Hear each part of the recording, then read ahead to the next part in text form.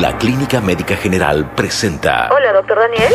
Hola, doctor Daniel. Hola, doctor Daniel. Soy Marta. Hola, doctor Daniel. Hola, doctor. Le habla Dilia. Hola, doctor Daniel. Soy Pedro de Santa Fe Springs. Para responder todas tus preguntas en el momento. ¿Qué posibilidades hay de que mi cuerpo rechace unos implantes? Doctor, quería saber si los productos de cosmética... Con Daniel Dunkelman y Betty Micheli. Así arrancamos, doctor, porque hoy vamos a hablar de la falta de energía. Por eso tenemos dos tanta energía, Y ¿eh, no Betty? podemos no ser el ejemplo. Para que aprendas y te descubras. show es súper interesante, por eso lo sigo escuchando. Aquí comienza Hola, doctor Daniel. Porque verte bien te hace sentir mejor.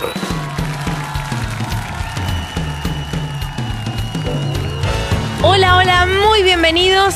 Buenos días, esto es Hola, doctor Daniel. Y recuerde que... Sí se puede con el doctor Daniel Dunkelman de la Clínica Médica General. Muy buenos días, bienvenidos. Qué lindo volver a encontrarnos con todos ustedes. Estamos en la 1020 recibiendo ya el fin de semana, doctor. ¿Cómo le va? ¿Cómo se siente hoy? Eh, listo para el fin de semana. Esto ha sido una semana de mucho, mucho, mucho trabajo. No me estoy quejando, estoy diciendo que por supuesto estuve muy activo, que me encanta estar activo porque mientras más activo uno está, más ganas- Vivo se siente también, ¿no? Se siente aparte haciendo Más muchas joven. cosas. Claro, uno no tiene tiempo de envejecer. Oh, eso es verdad, no, no se pone a pensar en el tiempo. Claro que muy no. bien, muy bien. Bueno, doctor, hoy tiene que ver un poquito con eso el tema que vamos a tratar. A ver. Cuando yo llegué a este país, una de las cosas que me sorprendió y realmente me gustó es que en este país uno puede conseguir la talla de cualquier medida. Es impresionante y para todo tipo, para todo lo que necesitemos nosotras las mujeres. Yo tengo una hermana con sobrepeso en Argentina y realmente ella no consigue eh, todo lo que sea lencería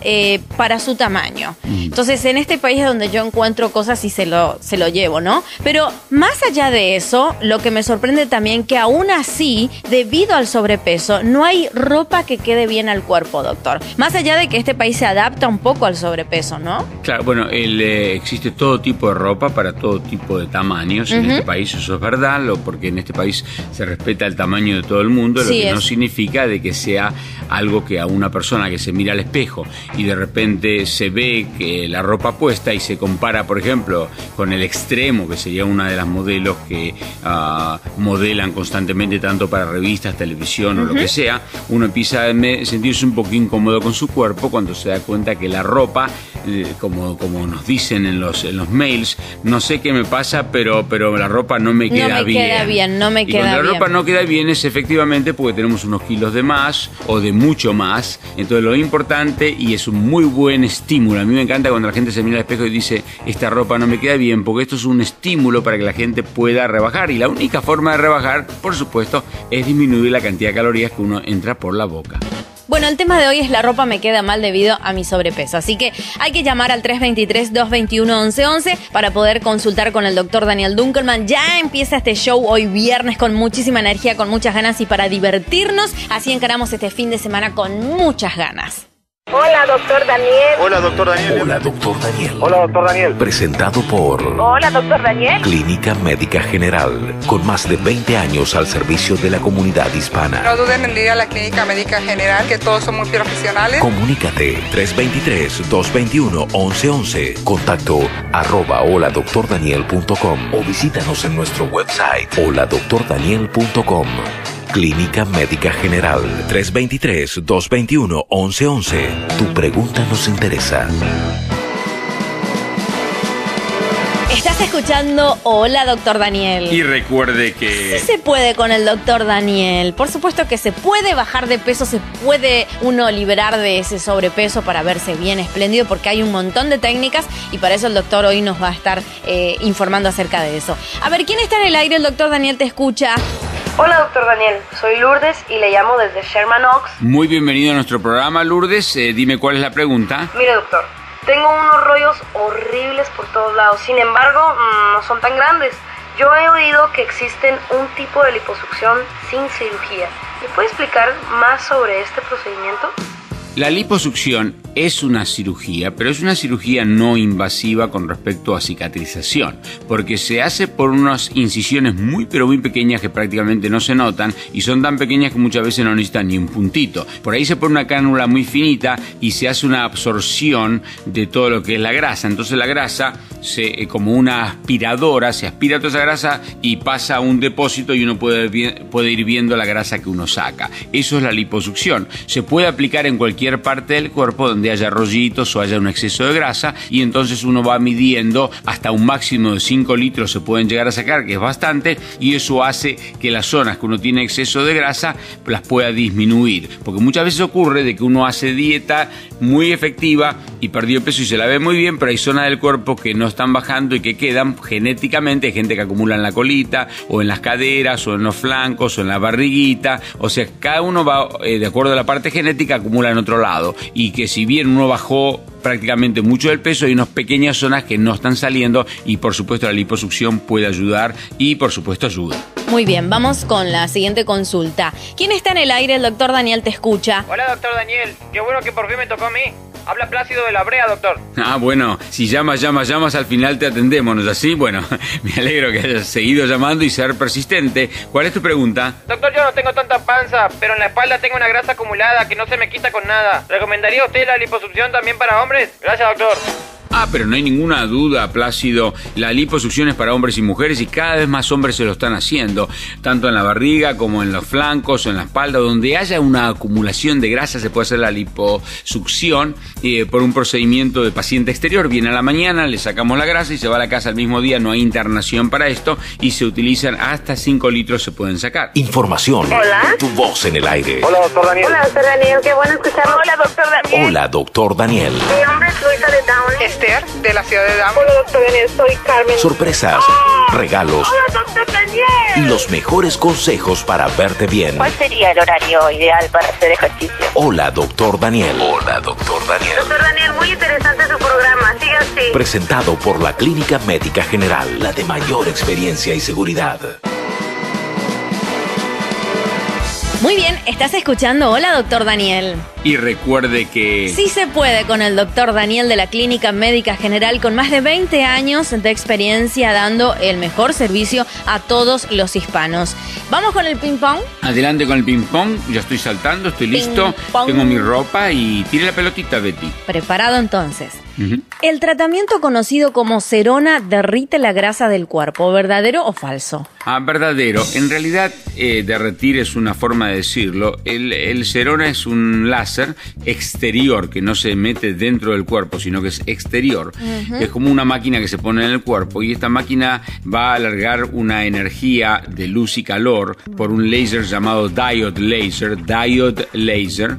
Ah, y entonces de esa forma va a cambiar en forma, no se conoce exactamente el mecanismo, pero se explica el mecanismo por el cual cambia un poquitito la parte de los eh, electrones de, los, de las células y de esa forma hay una reacomodación de las células y se ponen por unos cambios eh, químicos más débiles, se rompen y se, eh, el cuerpo se las reabsorbe, o sea que es como que están eh, eh, eh, derritiéndose o melting. Ah, no se conoce bien el mecanismo, pero eso es lo que se ha visto y no puedo recomendarlo todavía porque es algo muy nuevo y aparte se puede perder una cierta cantidad de grasa, pero como máximo una pequeña cantidad. Puede ser una ayuda a la liposucción para agregarlo a la liposucción o hacérselo solo y quizá con el tiempo, dentro de unos años vamos a saber si sirve para algo o no, pero por ahora está aprobado por el FDA y ya se está haciendo. Muy bien. Ah, la liposelection es un tipo de liposucción asistida por ultrasonido en que se utilizan sondas acanaladas y una cánula especializada. ¿Esto es verdadero o falso? Ah, verdadero.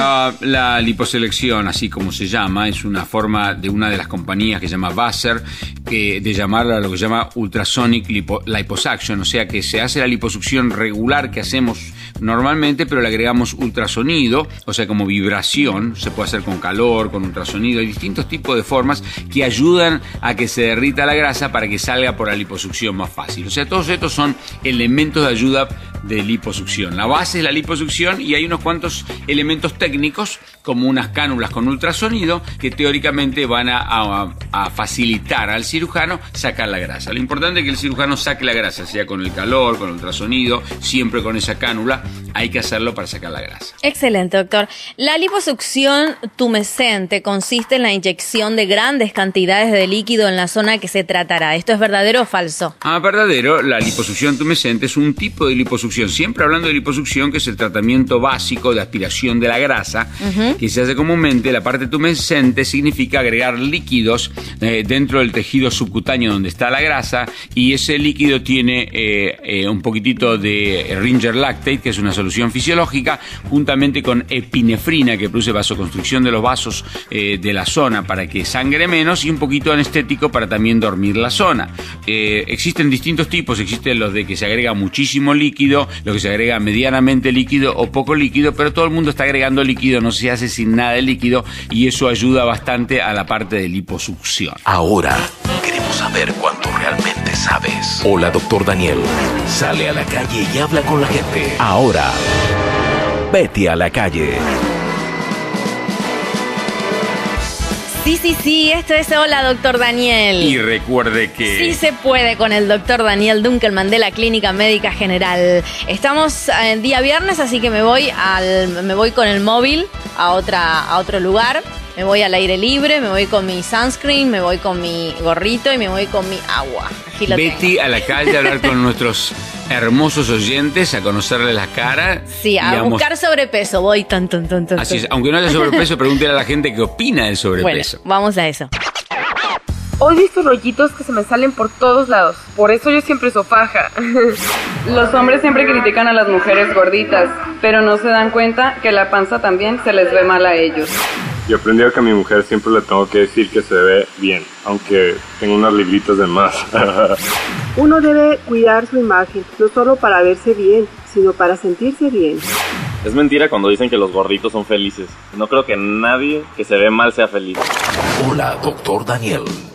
¡Wow, doctor! Lo que escuchamos ahí. Bueno, es muy interesante y sí, yo pienso que la gente le está diciendo lo que sienten, que es una verdad.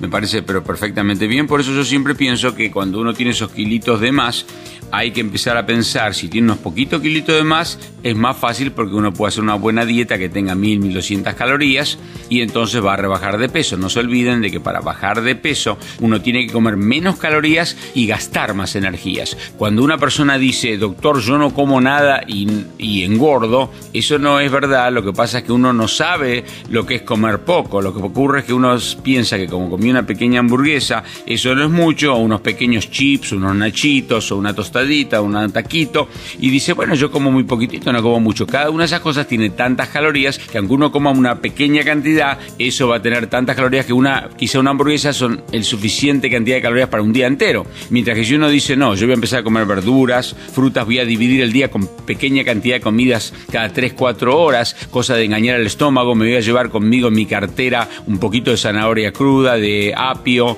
eh, de brócoli, de lo que le guste eh, crudo y lo voy a meter en una bolsita y cada vez que tenga hambre me como esto, esto va a ser de que la ansiedad oral que uno tiene más va engañando el estómago cada un par de horas, dos o tres horas y no tiene prácticamente calorías. O por ejemplo el, el, cucumber también crudo que también le gusta a mucha gente. Siempre hay que buscar técnicas para engañar el estómago, mantener la mente ocupada con respecto a, la, a lo que uno dice que es la satisfacción oral de meterse cosas en la boca. Y si uno dice, bueno, voy a calcular durante el día que no, que, no coma más de mil calorías, digamos 1200 calorías, va a rebajar de peso, pero todo se calcula por la actividad que uno tiene. Si uno está sentado todo el día, va a gastar 20 calorías por kilo de peso, y si uno, por ejemplo, está activo, 25, y si uno está muy activo, 30 calorías por kilo. Entonces, si uno multiplica, eh, yo tengo 70 kilos, por ejemplo, y soy una persona súper activa por 30, son 2.000 calorías por día. Pero si yo soy una persona que trabaja en una oficina o estoy en la casa haciendo quehaceres domésticos, voy a gastar 25 calorías por kilo, y si yo, por ejemplo, peso 50 kilos, voy a necesitar nada más que 1.200 1250 calorías. O sea que yo diría que entre 1000 y 1200 calorías todo el mundo va a rebajar. Y se puede hacer si uno divide las comidas cada 2-3 horas y muy poquito cada vez sabiendo las calorías que come. Cuánto gustan la fruta y la verdura, que son los que menos calorías tiene, y si no va a comer pollo, pescado, pavo, carne blanca al horno o a la parrilla. Nada frito se puede comer, porque cuando uno fríe la comida aumenta muchísimo las calorías que tiene. La grasa aumenta muchísimo. Estás escuchando Hola Doctor Hola, Daniel. doctor Daniel. Doctor Daniel. Hola, doctor Daniel. Hola, doctor Daniel. Hola Doctor Daniel. Hola Doctor Daniel. Hola, doctor. Mi nombre es Ruth. Presentado por Clínica Médica General. Comunícate 323-221-1111. Clínica Médica General. Prevenir, curar y embellecer. Esto es Hola, doctor Daniel. Y recuerde que... Sí se puede con el doctor Daniel. Doctor, bueno, hoy le traje numeritos con la pregunta random. A ver, a Tengo ver. tres sobres, pero usted me va a elegir entre el 8, el 9 o el 10. Ah, yo quiero sacarme un 10. Betty. Ah, un 10. Vamos con el número 10, a ver qué trae. El 10 dice, a ver. Hola, doctor Daniel, mi nombre es Gerardo y le escribo de San Bernardino. Doctor, mi esposa está a dos meses de tener a nuestro primer hijo y todavía estamos dudosos en qué tipo de parto queremos. Algunos nos recomiendan el parto natural, pero otros dicen que es mucho mejor para el bebé un parto por cesárea. ¿Usted qué nos recomendaría, doctor? Bueno, es muy importante, depende de lo que llamemos un parto natural. Si un parto natural es un parto vaginal, o sea, como vendría normalmente ah, sin ayuda, sino con supervisión o con un poco de ayuda, ese es el mejor parto. Por supuesto que el parto normal es un parto vaginal, como por naturaleza viene. Si el médico, eh, ginecólogo obstetra, dice de que el niño está viniendo bien, significa que va a tener, por supuesto, un parto eh, normal por la vagina. Pero si hay problemas en ese momento con el monitoreo, porque en este momento se monitorea a todos los bebés, o sea, todos los fetos que están dentro de la pancita, y si uno lo monitorea y ve que hay un problema con el, eh, baby, el bebé, entonces en ese momento uno determina que necesita una cesárea. La cesárea es una alternativa a al parto normal o vaginal que se utiliza cuando uno ve que hay un problema. En gente que ya ha tenido una cesárea antes, puede ocurrir de que uno planee una cesárea para que el segundo también venga de la misma forma, pero muchísima gente que ha tenido cesárea una vez, el segundo viene por parto natural. Es más, puedo decirlo eso a mi propia familia porque mi hijo vino de parto natural mientras mi hija, que es la mayor, vino de cesárea. O sea que no hay ninguna duda que es posible uno cambiar de acuerdo a cómo viene el bebé. Si el bebé viene, por ejemplo, de pelvis y no se ha dado vuelta, hay que hacer una cesárea. Si el niño viene de cabecita para abajo, que es lo normal, y el, y el corazón funciona bien y todo funciona bien, tiene que venir por la vía normal. Hola, doctor Daniel. Hola, doctor Daniel. Hola Doctor Daniel. Hola, doctor Daniel. Presentado por Hola, doctor Daniel. Clínica Médica General. Con más de 20 años al servicio de la comunidad No hispana. duden en ir a la clínica médica general, que todos son muy profesionales. Comunícate 323-221-1111. Contacto arroba holadoctordaniel.com o visítanos en nuestro website holadoctordaniel.com. Clínica Médica General 323-221-1111. Tu pregunta nos interesa. En el aire, hola, doctor Daniel. Y recuerde que... Sí se puede con el doctor Daniel. Estamos aquí en la 1020 acompañándolos en este día viernes. Este, este es el segmento que corresponde otra vez a las consultas telefónicas, así que ya estamos eh, con el siguiente oyente, doctor. A ver, hola, ¿quién está en el aire? El doctor Daniel te escucha. Doctor Daniel, mi nombre es Marilu, le llamo desde Hollywood. Tú debes ser una estrella, Marilu. Gracias por llamarnos. Dime, dime, ¿cuál es tu pregunta? Me hice la liposucción hace un par de meses, pero debido al estrés he empezado a descuidar mi dieta. Por eso me pregunto, ¿volveré a acumular la grasa después de mi lipo? ¿Y en cuánto tiempo podría suceder eso? Bueno, lo interesante de la liposucción es que sí vas a juntar grasa en cualquier parte del cuerpo, menos en la zona que has tenido la liposucción, porque en esa zona las glándulas, o sea, la, la grasita que sacó, como se sacan las células enteras de grasa, esa no se regenera. O sea que no vas a poder engordar en las zonas de la grasa que se ha eliminado, pero sí en la grasa que quedó. Si quedó un poco de grasa en la zona que quitaron, esa grasa puede crecer un poco, pero va a crecer en otras zonas del cuerpo. Así que por lo menos hay una cierta garantía que lo que se sacó de grasa en esa zona va a quedar disminuido para siempre. Siguiente llamada. ¿Quién está en el aire? El doctor Daniel te escucha. Hola, doctor Daniel. Mi nombre es Mateo y le llamo desde Azusa. Muy bien, muchísimas gracias por comunicarte, Mateo. Gracias por escuchar el programa. Dime cuál es tu pregunta. Doctor, estoy demasiado gordo y no me ha funcionado nada. Me han recomendado el procedimiento de bypass del estómago, pero quería saber, ¿Qué riesgos y efectos secundarios podría tener la cirugía? Bueno, es una cirugía excelente para morbid obesity, o sea, para gente que tiene un BMI que es eh, se calcula de acuerdo a la altura y al peso, arriba de un número llamado 40, y si uno ha tratado dietas realmente efectivas. Lo que ocurre es que mucha gente no ha tratado dietas efectivas y ejercicio antes, o sea que yo tengo un cierto, eh, una cierta idea primero de escuchar a la persona y ponerlo en un tratamiento con una nutricionista, más quizá a veces pastillas y ejercicios para disminuir de peso. Si uno falla también a ese tratamiento que está supervisado por médicos, entonces sí, el, el, bypass gástrico, que significa el achicar el estómago y hacer que la comida vaya de un estómago pequeñito inmediatamente al intestino, y para lo que se hace se pone un pedazo de intestino delgado arriba de este estómago que está cortadito, con un pedacito de estómago chiquito, con un pequeño pouch o bolsillito de unos 30 centímetros cúbicos, hacen que realmente cuando uno come, enseguida se llena porque uno tiene muy poquita capacidad en el estómago y al distenderse ese estómago chiquitito que uno deja, eh, uno ya se siente lleno ya no tiene más hambre. Y si come de más va a vomitarlo. Pero por supuesto que ocurren las complicaciones, las complicaciones normales de cualquier operación, por ejemplo, infección, hemorragia o otro tipo de problemas, coágulo de sangre y demás. Pero esos son mínimos y por supuesto que con las técnicas buenas que hay en estos momentos, eso se minimiza, pero son relacionados a la operación misma. Ahora, los relacionados a largo plazo están que uno tiene que adaptarse al cambio de comida y mentalmente uno le cuesta adaptarse, entonces tiene que seguir teniendo eh, eh, las visitas con el médico, con el psicólogo y demás para poder adaptar la cabeza al nuevo régimen de comida que es bastante fuerte. Y puede haber cualquier tipo de problemas como por ejemplo una aceleración de la comida con diarreas, dolores de estómago, existen muchísimos tipos de eh, problemas, inclusive si uno no come bien y no come proteínas suficientes porque no le han enseñado a comer, ah, entonces va a tener una malnutrición, va a tener problemas en los huesos, problemas en los músculos, va a haber debilidad y todo eso ocurre si uno no come bien, porque si uno va a comer muchísimo menos que antes, tiene que saber que el 50% de esa comida que va a comer, que es mucho menor que antes, tiene que estar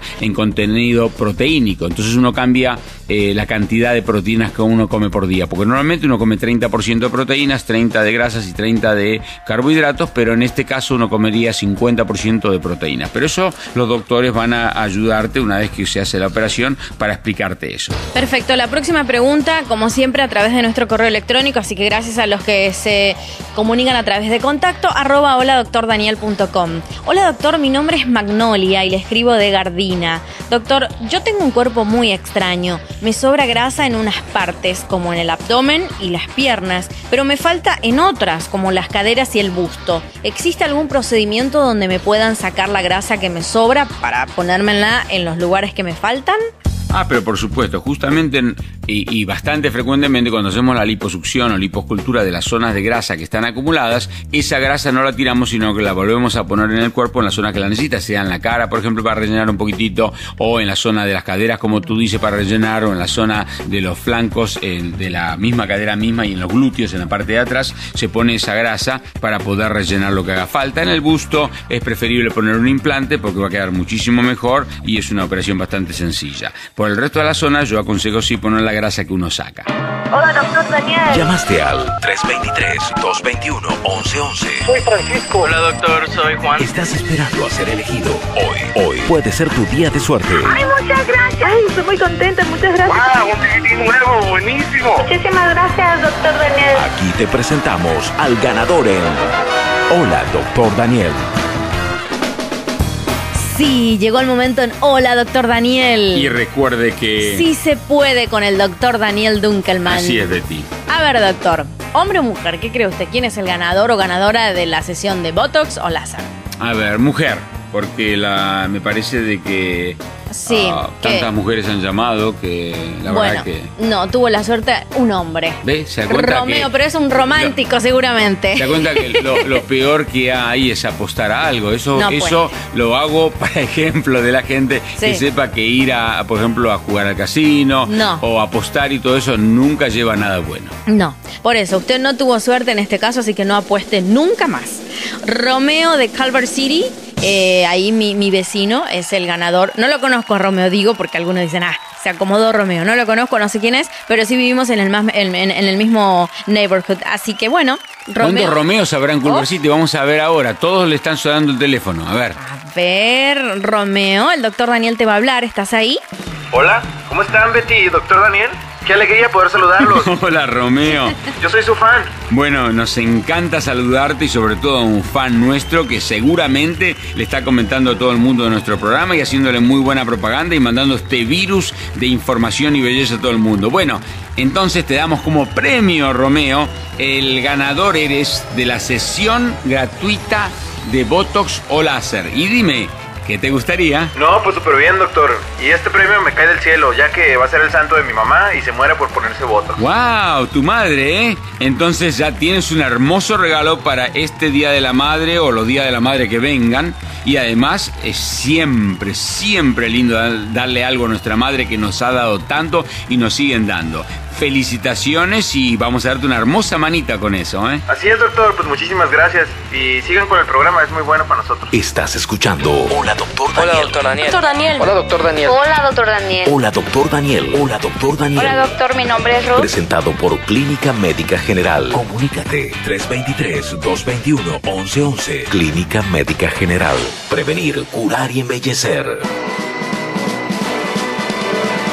Y casi sobre el final de Hola, doctor Daniel. Y recuerde que... Sí se puede con el doctor Daniel. Ah, ¿Cuál es el consejito para estar sanito y bonito este fin de semana, doctor? ¿Qué nos trajo? Hoy traje algo muy importante que son los beneficios de la risa. Oh, cuénteme que yo me río mucho, ¿eh? Número uno, la risa inmuniza contra la depresión y la angustia. Ok. Cuando uno se ríe, segrega más adrenalina, lo que potencia la creatividad y la imaginación. Al reír, el cerebro hace que nuestro cuerpo segregue endorfinas, que son sedantes naturales del cerebro similares a la morfina. Por eso 5 o 6 minutos de risa continua actúan como un buen analgésico, un buen sedante. Oh, qué bueno. Al reírnos estamos haciendo ejercicio. Con cada carcajada se ponen en marcha cerca de 400 músculos. ¿Qué le parece? Muy bien, me voy a reír más ahora que sé esto. Además actúa como un masaje. La columna vertebral y cervicales, que es donde por lo general se acumulan tensiones, se estiran al reírnos. La oxigenación, cuando uno se ríe, entra el doble de aire en los pulmones y de ahí que la piel se oxigena más y más. Increíble. La risa nos da felicidad, además de favorecer en la producción de endorfinas, también hay más hormonas que van a ayudar al cerebro y nuestros neurotransmisores están mucho más eh, funcionales. Así que ya sabe. eh, Hay que reírse más, doctor. Hay que reírse. Hay que reírse. Es uno de los Muy bien. remedios más económicos que hay. Todos los días, cinco minutitos de risa continua, entonces. ¿Y qué le parece si con una risa hermosa nos vamos y... Y bye bye. Hasta aquí, hasta aquí. La Clínica Médica General presentó Hola Doctor Daniel. Hola Doctor Daniel. Con el doctor Daniel Dunkelman. Co-conducción Betty Micheli. Idea y realización Betty Micheli y Javier Cortés. Esto fue, esto Hola Doctor Daniel.